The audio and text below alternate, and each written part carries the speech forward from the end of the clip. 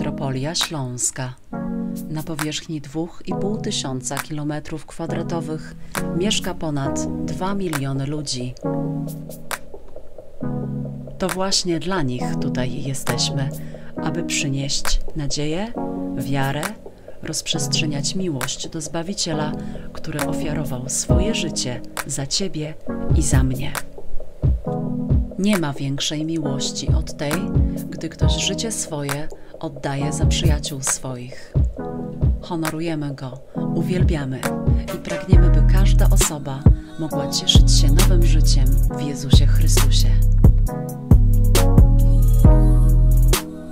Relacje są dla nas ważne, dlatego w każdą niedzielę przed oraz po nabożeństwie jesteśmy dla Ciebie, aby z Tobą porozmawiać i pomodlić się. Kościół to nie budynek, ludzie wspólnie budujący społeczność, której głową jest Jezus Chrystus. Wierzymy, że Pismo Święte jest Słowem Bożym, nieomylnym i natchnionym przez Ducha Świętego. Wierzymy w Boga w Trójcy Świętej, jedynego, w osobach Ojca, Syna i Ducha Świętego. Wierzymy w pojednanie z Bogiem przez opamiętanie i wiarę w Ewangelię. Wierzymy w chrzest Duchem Świętym, przeżywanie pełni Ducha i Jego darów. Wierzymy w uzdrowienie chorych jako znak łaski i mocy Bożej. Wierzymy w zmartwychwstanie i życie wieczne. Jak serce pompuje krew do całego organizmu, tak naszym pragnieniem jest rozprzestrzeniać wiarę i nadzieję w metropolii śląskiej. Jesteśmy Kościołem, jesteśmy sercem metropolii.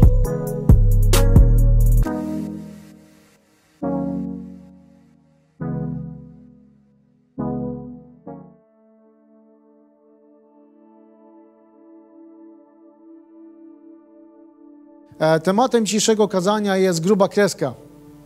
E, gruba kreska, e, teraz możecie sobie wyobrażać, jak wygląda gruba kreska i co ona oznacza. Wiecie, i ta gruba kreska, to stwierdzenie, ten taki, można powiedzieć, termin, on pojawił się wiele lat temu. Niektórych z Was jeszcze nie było na Ziemi. Ona się wiąże z pierwszym rządem i z pierwszym premierem e, po zmianie ustrojowej w Polsce, czyli w 1989 roku.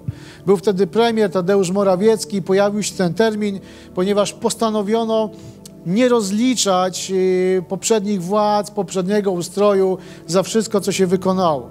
To oczywiście związane było z wielkim niezadowoleniem też wielu różnych ludzi, ale ogólnie też ta gruba kreska to właśnie odcięcie przeszłości. Wtedy chciano odciąć przeszłość, więc to jest odcięcie przeszłości, nierozliczanie za coś, co się dokonało. E, za to, co było trudne, odcięcie tego, co trudne, odcięcie tego, co nierozwiązane, Możemy mieć jakieś nierozwiązane rzeczy, na przykład związane z tym, roku, z tym rokiem. To rzeczy niezrozumiałe, zostawiamy je za sobą i patrzymy przed siebie. I dzisiaj, kochani, chcę przeczytać kilka tekstów z Pisma Świętego, do tego, aby nas zachęcić, aby, aby pewne tematy zakończyć, może właśnie odciąć e, tą grubą kreską, aby pójść dalej z Bogiem do przodu. Tym bardziej, kochani, dla nas jako dla ludzi e, kwestia grubej kreski jest bardzo istotna. Dlatego, że historia człowieka, historia ludzkości nacechowana jest czym? Buntem wobec Boga, odejściem od Boga, czyli grzechem. E, więc mamy no niezbyt dobrą kartę, kartę naszego życia, historii człowie, człowieczeństwa. I nasze, jest, nasze życie nacechowane jest, jest grzechem. I chciałem, abyśmy przeczytali na początek dzisiejszego, dzisiejszego rozważania Bożego Słowa e, teksty z listu do Rzymian. List do Rzymian, trzeci rozdział, wersety 23 do 26. Wyświetlonych będzie troszeczkę mniej, ale chciałem, abyśmy to przeczytali, abyśmy weszli właśnie w temat e, grubej kreski odcięcia, odcięcia pewnych spraw. I list do Rzymian, apostoł Paweł w liście do Rzymian pisze, nie ma przy tym wyjątków. Wszyscy zgrzeszyli, są pozbawieni Bożej chwały. Usprawiedliwienie natomiast otrzymują w darze z Jego łaski dzięki temu, że Jezus Chrystus dokonał odkupienia. To Jego Bóg ustanowił przebłaganiem, z którego skorzystać można przez wiarę. Jest ono w Jego krwi. ten sposób Bóg okazuje swoją sprawiedliwość, wyraża się ona w nieuwzględnianiu grzechów popełnionych wcześniej. W okresie powściągliwości Boga wyraża się ona też teraz, aby stało się jasne, że jest, że, że tylko On jest sprawiedliwy i usprawiedliwieniem darzy tego, kto zawierzył Jezusowi. Otóż, kochani, właśnie Chrystus pojawił się, aby postawić tą, aby odciąć, aby postawić tą, możemy powiedzieć, grubą kreskę. Apostoł Paweł w liście do Rzymian mówi, że wszyscy zgrzeszyli, są pozbawienia Bożej chwały. Wszyscy to znaczy wszyscy. Czyli my, nasi dziadkowie, nasi pradziadkowie e, i ci, którzy jeszcze, jeszcze będą po nas, wszyscy zgrzeszyli. Jesteśmy pozbawieni Bożej chwały. Dlatego obchodzimy te święta Bożego Narodzenia, że Bóg dał swojego Syna, On urodził się, aby mógł przyjść, abyśmy mogli dzięki Jego łasce, Jego ofierze być usprawiedliwieni, aby naszych grzechów nie było, aby nasze życie było czystą kartą, aby to, co było kiedyś, zostało odcięte, zostało zapomniane przez, przez, przez Boga. Więc Jezus musiał się pojawić, abyśmy mieli możliwość pojednania się z Bogiem, aby człowiek miał możliwość doświadczenia przebaczenia grzechów, aby Chrystus mógł się pojawić w naszym życiu, abyśmy mogli dostąpić zbawienia. On się pojawił i odciął całą przeszłość. On, Jezus, Jezus Chrystus Emanuel, Bóg z nami. Czytaliśmy ten tekst na naszym kolędowym nabożeństwie. Emanuel, Bóg z nami. Dlatego, kochani, że Bożym zamiarem nie jest Ciebie karać. Nie jest e, Bożym zamiarem e, siedzieć i wymyślać jakieś e, strategie, jakby Ci dokuczyć. Czasem tak ludzie, albo może nawet zbyt często, tak postrzegamy Boga, że Bóg siedzi i obmyśla, jakby nam dokuczyć. Bożym zamiarem jest być z Tobą. Bożym zamiarem jest być z człowiekiem. Bożym zamiarem jest kształtować Twoje życie i zbawić Cię. To jest Boży zamiar, a nie dokuczyć Ci, a nie zesłać jakiejś rzeczy na Twoje życie. I to wszystko właśnie wyraża się w wersecie, który mówi, że Boża łaska, Boża, Boże, Boże zbawienie wyraża się w nieuwzględnianiu grzechów popełnionych wcześniej. Dla kogo? Dla, dla tych osób, które zawierzyły Chrystusowi. To jest tak, jakby cały, jakbyśmy sobie zobrazowali życie człowieka jak duży zeszyt, w którym jest zapisany dzień po dniu. Piszemy, każdy z nas pisze jakąś swoją historię, zapisujemy go. I w pewnym momencie pojawia się Chrystus. I w momencie, kiedy uwierzyłeś w Chrystusa, zawierzyłeś Mu, że jest Twoim Panem Zbawicielem, to ten cały zeszyt jest czysty. Czyli powiedzmy, dzisiaj jesteś na stronie 458 i do strony 458 każdy dzień był zapisany. Dobre rzeczy, ale także Twój grzech i różne, różne sytuacje, które się wydarzyły. I te wszystkie 458 stron, nagle, kiedy spotykasz się z Chrystusem, są czyste. Tam nie jest nic zapisane. To jest tak, jakbyś chciał otworzyć stronę 125 i powiedzieć, Boże, ale ja kiedyś coś, a Jezus mówi, słuchaj, ale tam nic nie ma. To jest usprawiedliwienie kiedy spotykasz się z Chrystusem. On cię usprawiedliwia. Więc Chrystus przychodzi i stawia grubą kreskę w Twoim życiu. Jeśli Mu oczywiście na to pozwolisz, jeśli dopuszczasz Go do swojego życia. Nie rozlicza Cię za Twoją przeszłość. Stawia Tobie wyzwania. Chce Cię zbawić. Chce, żeby Twoje życie było święte. I myślę, że kiedy na kartach Ewangelii, kiedy ją czytamy, kiedy Chrystus spotykał się z różnymi ludźmi, to mówił do nich, Ok, słuchaj, teraz zrobimy po nowemu, teraz zrobimy inaczej, teraz mnie posłuchaj, przejdziemy pewne rzeczy, chcę nowych rzeczy w Twoim życiu. I Chrystus stawia wyzwania.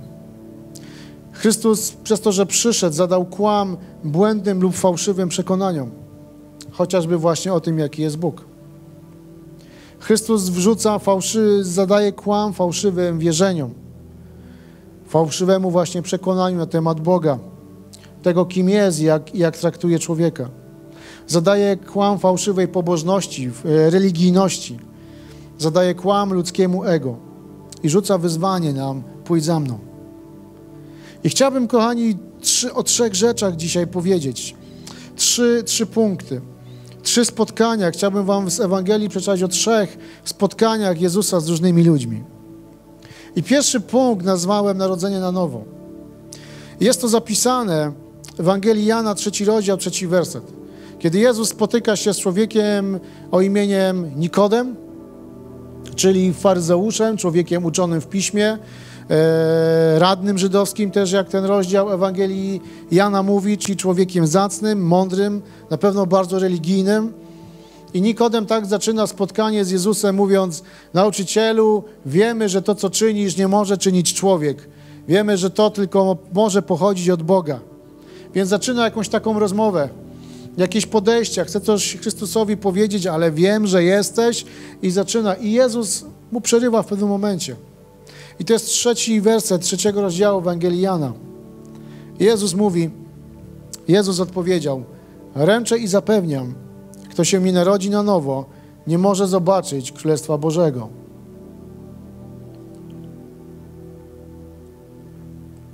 Dziwna sytuacja. Nikodem dostaje odpowiedź na pytanie, którego nie zadał. Bo on robi jakąś grę, opowiada coś. E, może chciał odejść od tego pytania, może gdzieś spodziewał się, co Jezus może mu powiedzieć.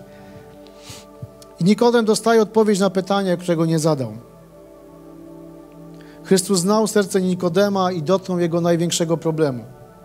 I, I tą odpowiedzią dotyka Jezus też największego problemu człowieka i ludzkości potrzeby duchowej przemiany, potrzeby regeneracji, która przychodzi jedynie od Ducha Świętego, właśnie potrzeby narodzenia na nowo, zmiany życia.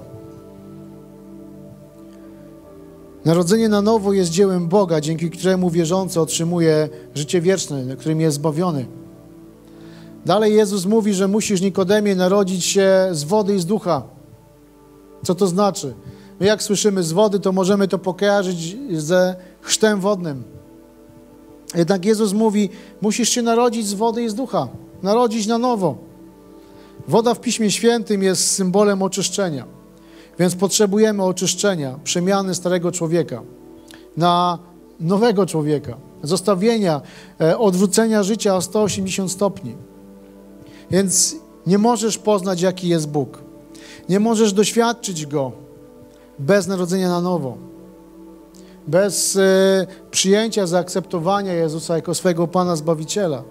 Możesz powiedzieć, jak mam to zrobić? Jeśli masz takie pragnienie, może będziesz oglądać to kazanie, to możesz powiedzieć, Jezu, ja Cię przepraszam za moje grzechy, chcę być nowym człowiekiem, chcę być nowym stworzeniem. Potrzebujesz tego doświadczyć, inaczej nic Bóg nie może robić w życiu człowieka, jeśli nie narodzisz się na nowo, nie zaakceptujesz Go jako Pana Zbawiciela, jeśli nie pozwolisz Mu na to działanie. To jest pierwsza rzecz, pierwsze wyzwanie, którą Chrystus zrobił. I druga rzecz, o której chcę dzisiaj mówić, to mówić o własnej sprawiedliwości.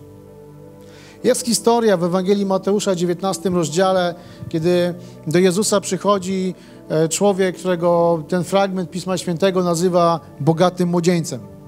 To oczywiście nie ma znaczenia, czy on był bogaty, czy on nie był bogaty, e, ale przychodzi tak zwany bogaty młodzieniec. I mówi nauczycielu, co mam zrobić, aby, aby być zbawionym, aby mieć życie wieczne. Więc Jezus mu mówi, przestrzegaj przykazań, możemy powiedzieć, bądź dobrym człowiekiem, rób to i tamto. I on mówi nauczycielu, ja to od wielu lat robię. Ja tak właśnie żyję. I Jezus mu mówi, 21 werset 19 rozdziału. Zatem idź, sprzedaj co masz i rozdaj ubogim, aby mieć skarb w niebie, a potem przyjdź i naśladuj mnie. Możemy powiedzieć, że Jezus był dość złośliwy. Człowiek zrobił wszystko. Możemy powiedzieć dzisiaj, że był bardzo religijny, że naprawdę się starał, że tak wiele zrobił. Ale też mówiłem parę minut temu, że Bóg nie jest złośliwy i nie obmyśla w niebie strategii, jak Tobie, jak nam, jak, jak ludziom dokuczyć. Jezus nie chciał mu dokuczyć. Nie pomyślał sobie zapewne, o, przychodzi, pyta, co ma zrobić. To zobaczymy to wbije mu taką szpilę. Zobaczymy, jak sobie z tym poradzi. Nie, Jezus tego nie zrobił. Zwróćmy też uwagę na to, że ten człowiek przyszedł, on przyszedł do Jezusa. On przyszedł, tak jak Nikodem przyszedł. Przyszedł się spotkać. I ten bogaty młodzieniec przyszedł do Jezusa, ponieważ chciał więcej. Mówi, co mam zrobić, aby mieć życie wieczne? Co mam zrobić, aby być zbawionym? Co mam zrobić, aby mógł Ciebie bardziej poznać, Boże? On chciał się dowiedzieć, co ma zrobić. Pyta i dostaje odpowiedź. sprzedaj wszystko, co masz, chodź za mną, naśladuj mnie. Jestem przekonany, że to była zabójcza dla niego odpowiedź. Nie spodziewał się jej w ogóle. Dlatego, że dalsze wersety mówią, że odszedł zasmucony, ponieważ miał wiele, wiele, wiele majątności. Jeszcze raz powtórzę, tu nie chodzi o to, że biedni mają, że bogaci mają z tym problem. Czy jesteś biedny, czy jesteś bogaty, czy jesteś zamożny, zależy jak możesz określić swój stan, to tu nie ma znaczenia, tu chodzi o postawę serca. Myślę, że był po prostu zabity tą odpowiedzią. Mogła też być dla niego zbyt prosta, zbyt banalna. Może oczekiwał, że Chrystus rozrysuje mu coś, e, co ma dalej zrobić. Może otworzy trochę nieba, aby mógł zobaczyć aniołów, aby mógł zobaczyć coś, coś, coś pięknego, coś, co porwie, pociągnie go dalej. Nie. Jezus mówi: Dobrze, robisz wszystko, jesteś dobrym człowiekiem. Na pewno jesteś człowiekiem, którego ludzie mogliby naśladować, ale mówi: Sprzedaj. Myślę, że ten, ten tak zwany bogaty młodzieniec mógł pomyśleć sobie: Ale jak to? Dlaczego? Czy on zwariował? Raczej pomylił mnie Jezus z kimś innym. To nie mnie to dotyczy. A może dotyczy osoby, która siedzi w kościele za mną, osoby, które spotyka, może kogoś z mojej rodziny, ale to nie jest dla mnie. To na pewno nie jestem ja. Z całą pewnością Bóg ma inny plan dla, dla mojego życia. Ma inny sposób na to, abym, abym mógł coś osiągnąć w swoim życiu. Na pewno Bóg chce coś innego ode mnie. To na pewno nie jestem ja. Wiecie, bardzo często ludzie mają taką postawę. Ja? Nie, nie, nie, nie, nie. Ja coś chcę i, i szukam tego, szukam Boga, ale kiedy On przychodzi, aby zweryfikować moją postawę, nie, to na pewno nie jestem ja. To na pewno nie ja i winny będzie ktoś inny. Winny będzie ktoś inny. To ktoś inny musi coś zrobić, ale nie ja. Jezus obnażył własną sprawiedliwość tego człowieka który nie przyznaje się do postawy swojego serca, do własnego grzechu, do, do tego, co powinno być zmienione w, w jego życiu. Właśnie Chrystus przychodzi, aby, aby obnażyć. Nie po to, aby nas e, upodlić w jakiś sposób, aby wykazać, oj ty, ty musisz to zrobić. Nie, Jezus przychodzi i odpowiada na tą potrzebę. Co mam zrobić, żeby być zbawiony? To zrób to i chodź za mną, naśladuj mnie. Ja pokażę Ci, jaki jestem. Ja zmienię Twoje życie. Jezus nie wyznacza warunków zbawienia. On nie rzucał warunków. Zrób to, zrób to, zrób to. Potem przejdziesz to szkolenie, zrobimy egzamin i zobaczymy, czy zdasz. Nie. Jezus mówi, Jezus obnaża prawdę o naszym sercu. Dlaczego obnaża prawdę o naszym sercu? Bo tam właśnie w głębi naszego serca, naszej, naszej duszy spoczywają nasze największe problemy. Rzeczy, które nie pozwalają nam poznawać Boga. Rzeczy, które nie pozwalają nam żyć w zgodzie z ludźmi dookoła. Rzeczy, które nie pozwalają mm, e, nam być pojednani z Bogiem, pojednani, pojednanym z innymi, z innymi ludźmi. Tam w sercu jest nasz największy problem. Nasze myśli, nasze ego.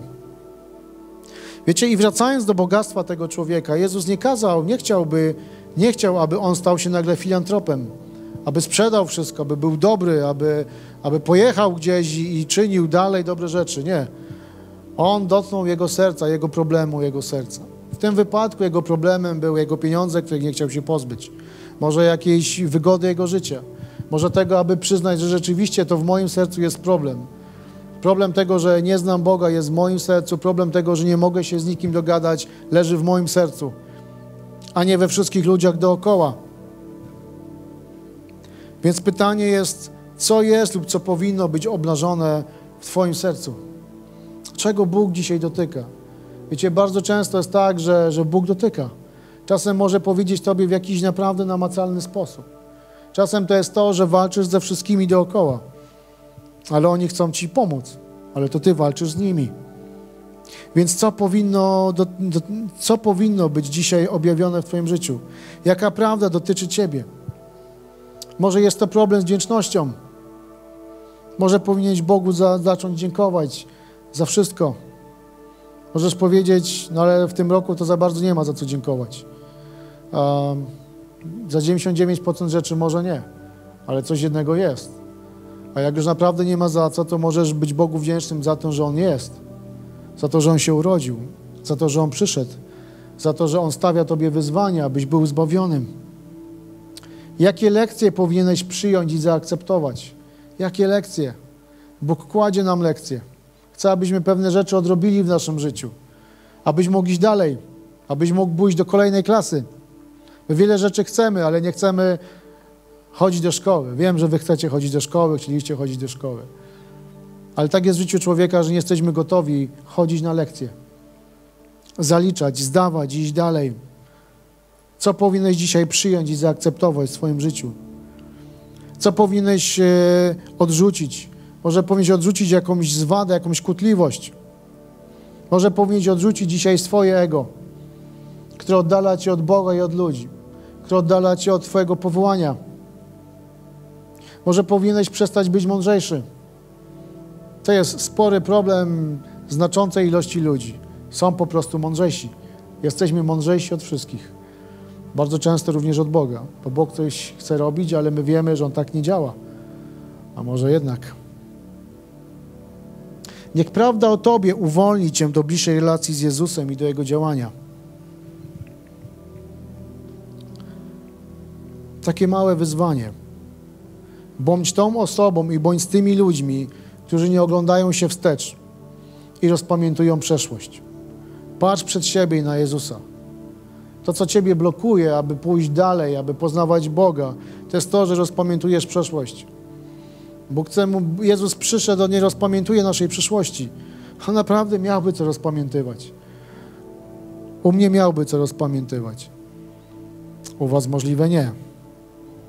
Ale skoro u mnie by miał, bądźmy szczerzy. Każdemu z nas może się coś przypomnieć, za co, za co możemy się wstydzić.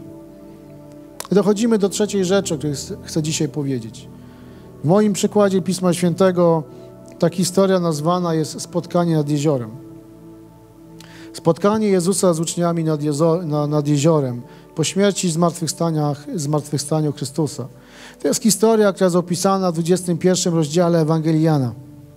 Kiedy Jezus umarł i dla uczniów umarł, bo nie pamiętali, że Jezus przez trzy lata mówił im, że Syn Człowieczy musi umrzeć i musi zmartwychwstać trzeciego dnia. Kiedy umarł, oni bardzo szybko o tym zapomnieli. Więc wrócili do swoich zadań, do swojego, nazwijmy to, starego życia, poprzedniego, to co znali, czyli poszli łowić ryby. Znowu wrócili do swojego rybactwa, do swojego zajęcia, do swojego zawodu.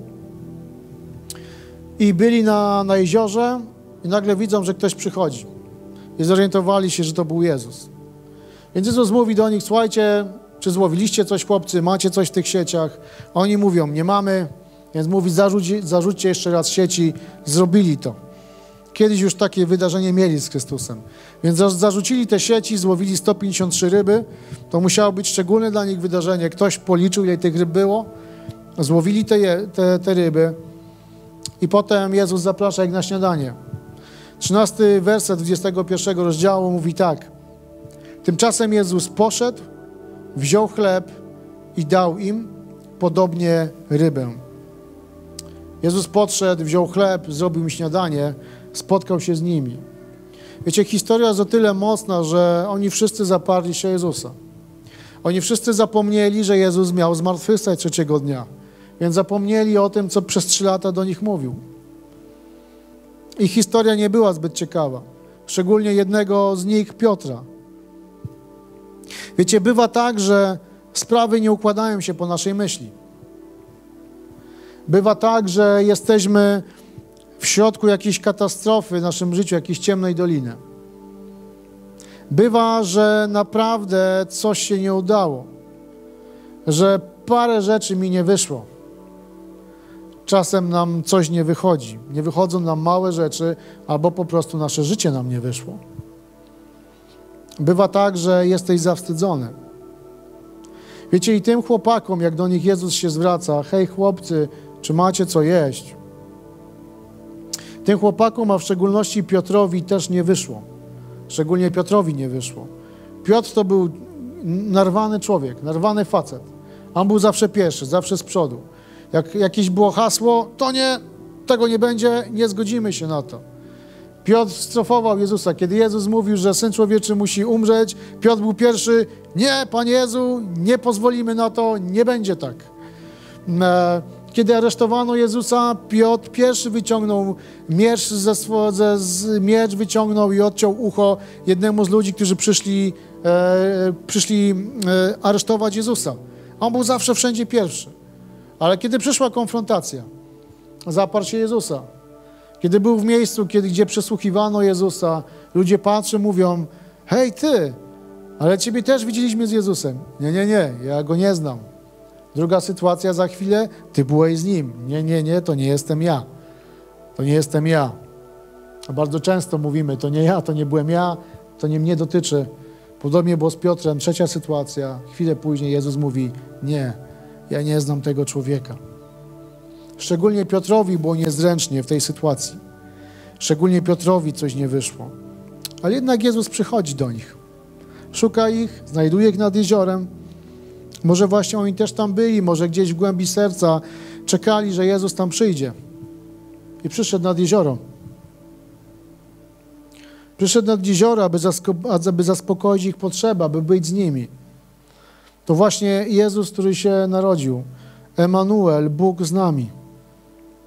Przyszedł, aby zapewniać Piotra o swojej akceptacji, o swojej miłości. Przyszedł, aby spędzić z nimi czas.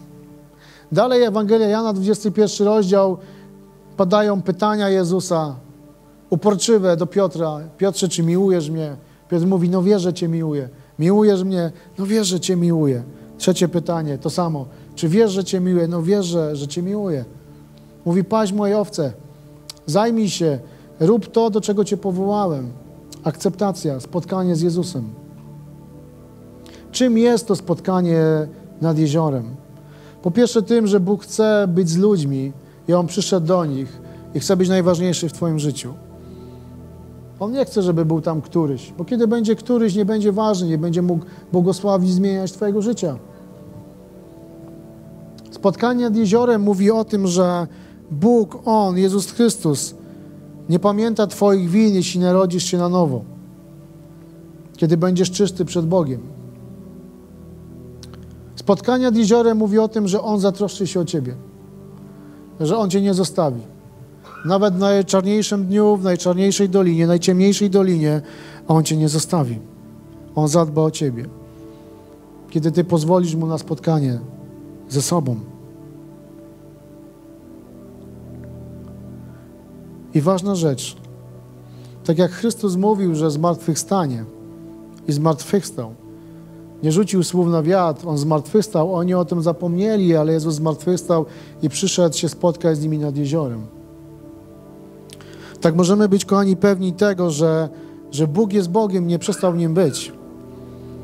On zapewniał ich przez trzy lata o różnych rzeczach i wykonał to. On był. Możesz być pewny, że, że Bóg jest Bogiem, chce panować nad Twoim życiem.